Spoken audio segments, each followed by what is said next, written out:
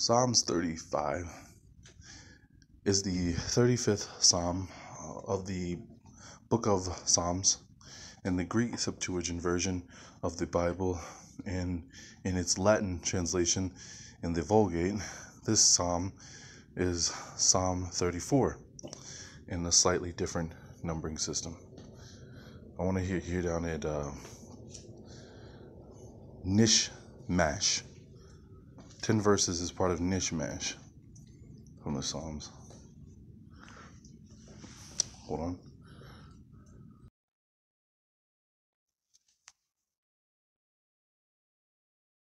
Nishmat, Hebrew, or Nishmat Kolchai, the soul of every living thing, is a Jewish prayer that is recited. Following the Song of the Sea during Pesukei de Zimra but before Yishtabach on Shabbat and Yom Tov. It is also recited during the Passover Seder in some traditions. 1. It is prized by halakhic authorities because the concepts covered in this prayer are basic to halakha. 2. Nishmatan Yishtabach are in some ways considered to be one long prayer, abridged just to Yishtabach on weekdays when there is no time to recite the entire prayer. 3. In this prayer, the word nishmat, the combining form of nishma, breath, that begins the prayer is related to the word neshama, soul, suggesting that the soul is part of the breath of all life. 4. The theme of the prayer is the uniqueness of God. 5.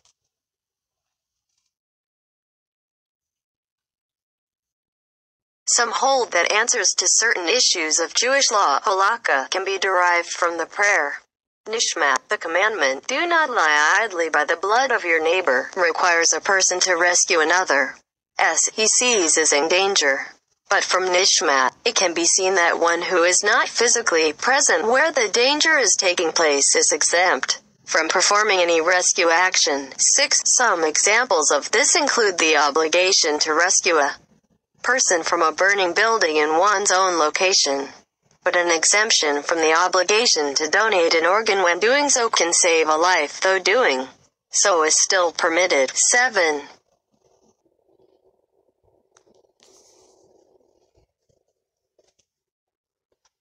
Nishmat is considered one of the masterpieces of Jewish liturgy.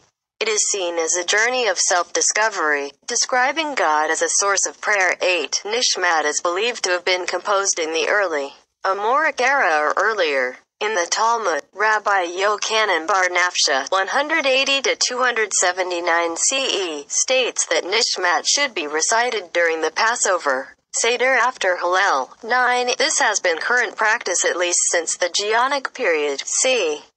800, 1000 CE, 10. While this is the earliest known reference to the prayer, there are opinions that it may be older. 11. Nishmat became a standard part of the liturgy by the time of Saadia Gaon. 12. The earliest mention of it as part of the Sabbath morning service is in Seder Rav Amram written by Rav Amram Gaon in the 9th century CE. 13. In Mishneh Torah, Maimonides 12th century CE states that it was recited on the Sabbath in Sephardic practice. Its use on Sabbath morning was controversial in Europe during the early medieval period. Several Ashkenazic rabbi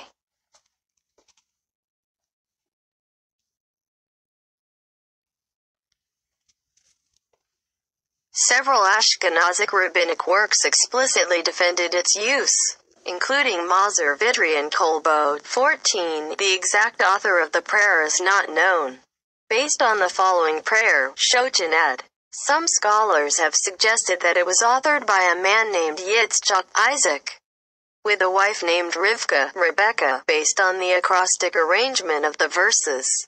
But others have dismissed this idea. 15. Some scholars have suggested that the author's name may have been Shimon. Simon from an acrostic within the prayer, and have considered this could be Shimon ben Shetach or perhaps the Apostle Peter, whose Hebrew name was Shimon, which would place the date of authorship in the first century CE, 16, 17. All right, so thought that was interesting. I mean, uh, I don't think any of that stuff really pertains to us. That's all, you know, Ju- Judaism and uh, I mean, what really got me there was uh, talks about um, what's his name there? Hallel, right? Hallel, isn't that uh Lucifer? Right after it says uh this prayer is supposed to be uh yeah. Uh, where was it? The Passover. Did I go too far? Oh yeah. Because I think uh, Lex Will broke this one wide open that this was the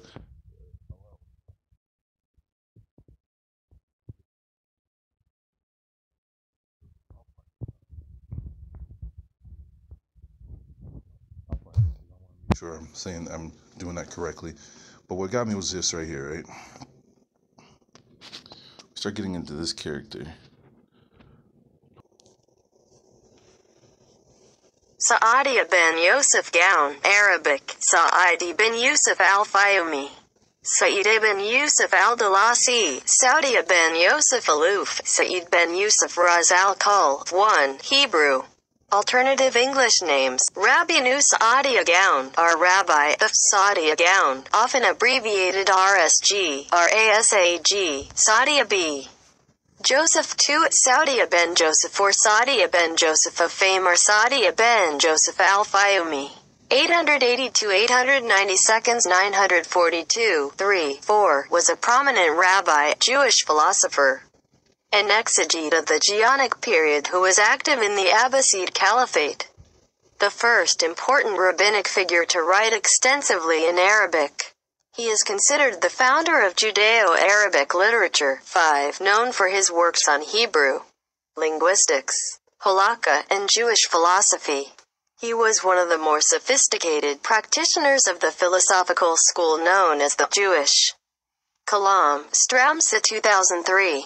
In this capacity, his philosophical work The Book of Beliefs and Opinions represents the first systematic at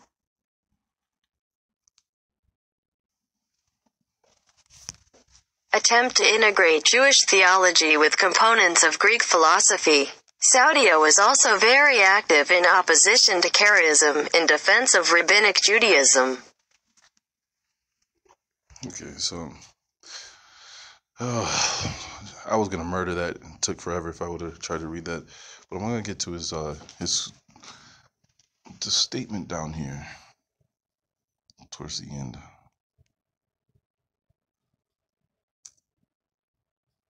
Let's watch this. Is the hill of God the hill of Bashan? A hunchback mountain is the hill of Bashan, meaning it is unfit for God's divine presence. Why leap ye, ye hunchback mountains, that mountain wherein God desires to dwell, i.e. Mount Moriah in Jerusalem. Even the Lord shall dwell therein forevermore. Saadia Gaon's Commentary 27.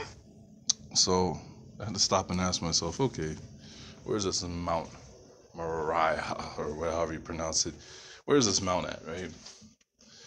And I wasn't ready for what I got.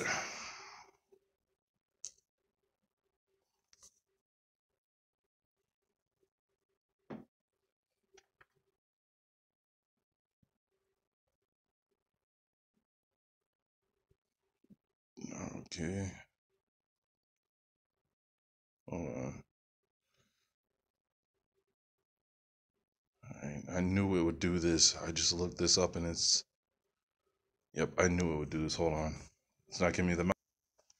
Here we go. See, I, I I've learned to either screenshot things or send them to uh, other people right away because the first time I looked this mountain up, it gave me this. It's in Nevada right? Uh, which also goes to because remember, um, remember the uh, I did a video when I was trying to point out um, some of the stuff in an old documentary about trains and what they you know discussed when they were making their way to San Francisco, basically coming from the East Coast, cutting across to the West, right? And um, I like watching old documentaries. I like watching old films because they say stuff that you'll never hear mentioned anymore in today's movies or documentaries. It's all covered up so I like to listen to that and then take what they say and go look into these, look into things, right? I use them not as entertainment, but as reference points. But there was a name they brought up, and it was the uh, Sahara or Sierra, right? Because I, I, always get it confused. I always think about the uh, the GMC truck. I think it is because it's got the same name. But um, when I looked it up, it's in the desert. It's in Nevada, and I looked it up, right? And I'm like, uh, uh, I don't understand the translation for the name because nobody was really giving a translation for this name. And in a roundabout way, I found it when I was looking into uh, what's his name. Um, shoot, what's that name? Um, Montezuma and the halls of Montezuma in Texas. Um, it gave a translation for that name, uh, Sierra, right? And it mean it is, says, um, uh, yes, it is here. Now that desert, uh, Sierra, is in Nevada. Now you remember before when everybody was all over Utah, Utah, Utah. I was like, hold on a minute, wait now. Okay, let's look at how the Mormons have traced this thing down. I wasn't too satisfied with it. You know, I was like, um, I still felt like we are ignoring Nevada. I felt like we were ignoring uh, Arizona, and we're definitely ignoring New Mexico. So I was like, just wait on. And then we found, was it Raman uh, or Raymond, however you pronounce it? Um, it's in New Mexico. So there's places here. They, they got these places we should look into as well. But anyways, here it is. Let's see. I want to see if there's anything they'll give on it. No. Just uh, everything. Everything is in. Um, shoot, what is that? Uh, it's freaking. Um, that's German.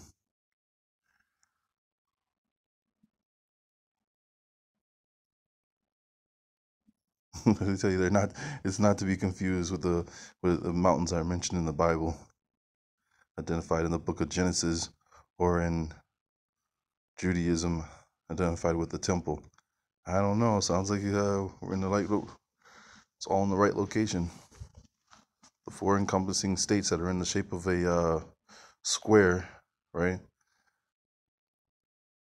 In legalese, a square is a court, and a court is where judgments are held. Let me see. All right, we'll get back to the Psalms 35. Contend those who contend with me. For David himself, judge thou, O Lord, them that wrong me, with overthrow them that fight against me. Take hold of arms and shield, and raise up to help me. Ah, remember that verse, right? Remember verse 2, because uh, later on, this is another one where they make it seem it's just Jesus talking through David. Bring out the sword and shut up the way against them that um, persecute me. Say to my uh, soul, I am thy salvation. Jesus didn't say that, right? Did he? He didn't say, I'll tell the Creator to do that. Remember, he, uh, he said all that, oh, my God, but God, why have you forget, forgotten me? And, and uh, why have you turned your back on me and all that stuff, right? So I'm just saying, let them be confounded and ashamed that seek after my soul. Let them be turned back and confounded that devise evil against me. Let them become as dust before the wind, and let the angel of the Lord stray them, straighten, straighten, straighten them. Sorry. So he wants them blowing in one direction once they've been dismantled, disarmed, and destroyed. You know, not to scatter to the right, the left, or any other degree. Straight, gone. Right. Uh, let their way become dark and slippery, and let the angel of the Lord pursue them. So even those that try to get away, let you know, let there be blinders put in the way where only the angel of the Lord can see through, right? For without cause they have hidden their net for me unto destruction. Oh, this sounds like legalese and all the uh, uh, the, the, things that they've done to hide um, the path for us to get out of you know trouble, right? Uh, with their lawyers, with their judges, with their sheriffs, with all of it, right? With their uh, um, with their scholars, without without uh, cause they have um, up oh, upbraided my soul. Let the snare which he hath not known not come upon him, and let the net which he hath uh, hidden catch him, and into that very snare let them fall. But my soul shall rejoice in the Lord, and shall be delighted in his salvation. See, again, this has nothing to do with Jesus. This is all